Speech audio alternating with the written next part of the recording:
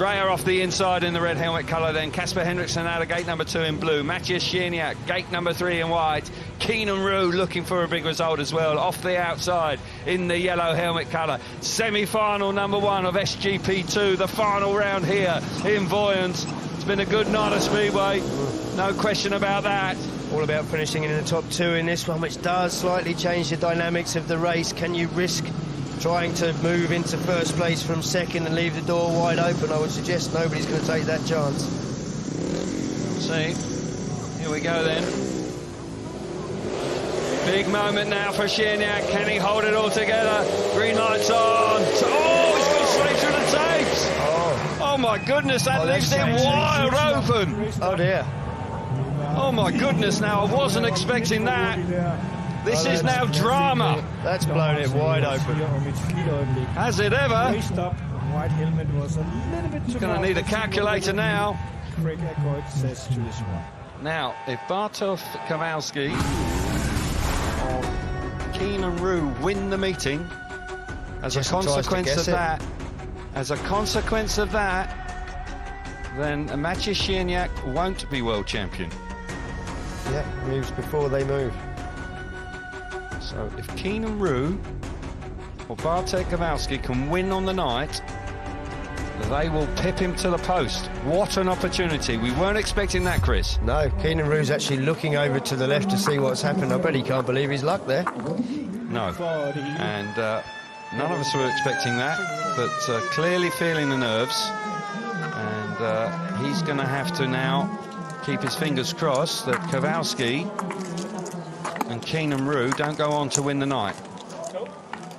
Because uh, as a consequence of that, um, uh, probably only going to pick up nine points. Mm. And uh, 20 points from Keynan Rew or Bartek Kowalski we'll see them crowned world champion rather than uh, Maciej Cierniak. Well, that really is dramatic stuff here in the first wow. semi-final, wow. and they hadn't even left the tapes. Wow, that is quite extraordinary. Now, what an opportunity for Rew. Keynan Rew's just got to believe he can get in the first He's two. He's got to throw everything at this, everything.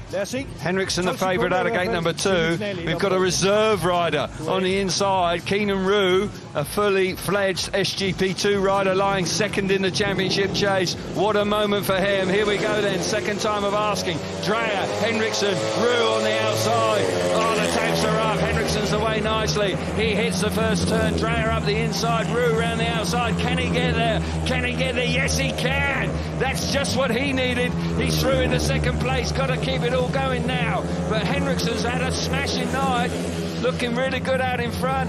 Keynan Rew pushing on in second. Oh, he's lifted violently. Now Dreyer up the inside. Yes, he's coming through. Oh, that's neck and neck as they go to turns three and four. Drama here in semi-final number one. Oh, has Keynan Rew got an answer now? That's the second time tonight he's made a mistake when he's been in the points. And this one is going to cost him dearly. He's got to get himself into second place to give him a chance of this title. It doesn't look like he's going to do it. Henriksen out in front, set for the final. William Dreyer in the right place at the right time. Keynan Rew with that costly mistake is going to miss out. What an opportunity slipping away. And we've got a reserve rider in the final. That is extraordinary in itself. Keynan Rew misses out. Desperately disappointing for him. Casper Henriksen through in fine style, gate number two. Absolutely, once again, working a treat for him. And many congratulations to William Dreyer, who makes the final tonight desperately disappointing moment for uh, Keynan Rew, who had battled so hard to get the better of Dreyer. That's brought a smile to Cierniak's face. Result of the first semi-final then. Casper Henriksen out in front. He's through. William Dreyer in the final as well. Keynan Rew slips up there. Disappointment for him. And Matthias Cierniak sitting there in the pits watching it, as you say. One of the uh, rivals and the opportunities for him to be overhauled has slipped away. Here we see it again. Yeah, this is tough stuff for Keynan. He's in second place throughout uh, the first couple of laps, makes that mistake, but from the start, it's Henriksen perfect. Rew has to work hard there around the outside, does the right thing. Dreyer goes as far as he can. It's a fair ride from him, leaves him the space. And at this point, you've just got to say that Keynan Rew's got to ride around the inside. And do not do that. Do not make a mistake. Left the door wide open for Dreyer, and he moves into second place. And what a night for him goes into the final. Brilliant stuff. Yeah, that is, uh, as I say, it's a fairy tale story for William Dreyer. Um, a fabulous moment for him. Desperately disappointed for Keynan Rew, but nonetheless, um, uh, that's the way it's worked out. Casper Henriksen comfortably through to the final once again, second consecutive final. So now we uh, turn our attentions to semi-final number two. If Bartek Kowalski doesn't make the final, then Cierniak is world champion. But uh, Bartek Kowalski out of gate number two has every chance. It really has been an advantage tonight. Francis Cox. He finished the meeting poorly, though. He finished yeah. with uh, an exclusion in the third place, so uh, certainly uh, found it tough towards the end. He has indeed, and he's got plenty of uh, competition as well. With Hellstrom Bangs out here, and Damian Ratajczak also searching for a medal as well, so yeah. don't rule him out. He's going along very nicely as well. Francis Gust just thrown in for good measure, but he is another rider that has, um, his form has slipped the longer the night's gone on, and he's got gate number four, but all attention now on Kowalski. Can he hold it together? Can he find the composure to stay still on the start, drop the clutch at the right time? Sounds simple, but I tell you, under this pressure, Far from it. He's in the right place. He is indeed. The line-up for semi-final number two then. Philip Hellstrom Bangs off the inside in red. Gate number two in blue, Bartek Kowalski. Gate number three, Damian Ratajczak in white and off the outside in yellow is Francis Gust. This is drama in the extreme, Chris. This oh, uh, just could not have scripted this. Cierniak going along so sweetly, looking like it was going to be a formality in semi-final number one. Yeah. Charges the tapes and leaves the door wide open. Uh, Kowalski, the man in this race that could still lift this crown if he can get through to the final and win it, of course. But on the inside of him, he's got the all entertaining, exciting, all action Hellstrom Bangs, and Ratajczak chasing a medal. Indeed, he is. Ratajczak's not out of it either. can he do something from gate number three? Here we go then, semi-final number two. Light is on. Tapes are up. Kowalski's made it from gate two. Smashing start from him. Round the outside is Francis Gust. Oh, Kowalski lifted behind there. Gust now up the inside. Good move from him. He fires himself to the front. Kowalski's got to hang on in second place to make the final. But look at Hellstrom Bangs. Hellstrom Bangs is not out of it. Ratajczak at the back. Gust is in front. Kowalski in second place. But Hellstrom Bangs is charging hard in third. Tell you what, Kowalski's got to settle down. He's got to get to the inside because if he leaves that that hole for Hellstrom Bangs. He will ride through it. He's got to start riding around the curve. Gust oh. oh, he's made a mistake. That's oh, it. It's, it's done. It is indeed Hellstrom Bangs coming through, and if it stays like this, Cierniak will be the world champion by the skin of its teeth. One lap to go. Gus out in front. Certainly Hellstrom Bangs. Now Hellstrom Bangs is out of shape. Oh my goodness, you can't skip. Richard Ratajczak now in the second place. Kowalski now back in the second oh, place. One back. Oh my goodness, Cierniak's world champion. You could not take your eyes off of it. And Maciej Cierniak, by the skin of his teeth, retains his title. Congratulations to him. You've got to feel for Kowalski and Keynan Rew. Got to say, Kowalski should have done that, really. How tough was that for Cierniak to sit in the pits and watch oh. that? He can do nothing about it but watch. Well, the new world champion retains his title, goes out of the under 21 ranks on top form with another gold medal. I tell you what, you're right, Chris. He must have been biting his oh. fingernails down there in the pits after blowing it in semi-final number one with charging the tapes. Bartek Kowalski and Keynan Rew slipping up and not making the final tonight. And as a consequence of that, Maciej Cierniak is a double world champion at under 21 level. Brilliant stuff. Yeah, fully deserved. Struggled tonight by his extremely high standards. Seemed to uh, suffer from the nerves in his semi-final when he charged through the tapes but both Kowalski and Rew, both in semi uh, in final positions, yeah. making mistakes. Just shows you how hard it is to get over the line. It's never a given. Came in here with a comfortable lead, everybody expecting him, the weight of expectation. Just see the results in the semi-finals. With Gus and Ratajczak through, what an exciting race it was. Bartek Kowalski slipping up there, failing to go through to the final. We'll see it once again. This was just drama again here. Yeah, I don't know where to look in this race it's uh, all about Kowalski. There, there's the first mistake in the first turn, and you're thinking, right, it's all over for him. He's now stuck on the outside of Francis Gust. and you're thinking already on this first lap, got to get to the curb, you've got to get to the curb, you've got to defend what you've got, got to defend that second place. But of course, Hellstrom Bangs has got other ideas, sticks his nose in, forces almost Kowalski to stay on the outside. Kowalski then immediately realises he's going to cover the inside, makes that mistake, and it's all over from there. And uh, Hellstrom Bangs, well, he puts him under the pressure to force the mistake. And then, of course, Ratajczak at the death there, flies around the inside, holds his nerve around the inside. Kowalski misses out. What a semi-final that was. Really was quite extraordinary with Kowalski missing out there. Was action-packed throughout the four laps. And uh, you got a feel for Kowalski, but uh, in the end it uh, transpired that uh, Matthias Cierniak retains his title and uh, is a double SGP2 world champion. So uh, we are now going to be able to get some reaction down there in the pits with Marcelina, with the world champion Maciej Cierniak.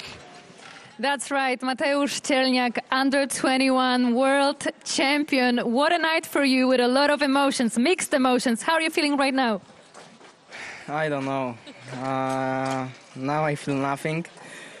I'm so tired, and uh, today is very um, not pleasure for sure day. Thank you. Come on, you're a world champion again. I know, but I start not not good.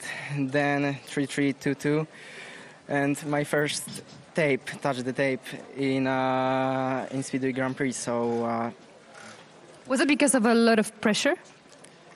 maybe a little bit. Uh, I don't know what I can say.